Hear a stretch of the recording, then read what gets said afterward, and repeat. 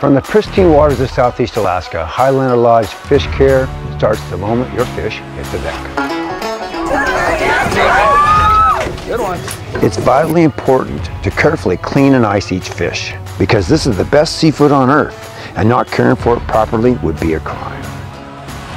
When you return to the dock at the end of the day, your fish are unloaded and brought to the fish cutting room.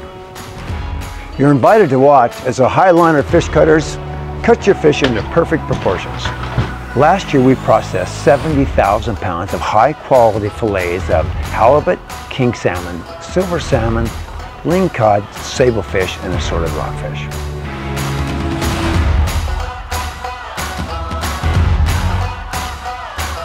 Carefully packaged and immediately frozen, this attention to detail ensures that you, your friends, and family will have great tasting fish all year long.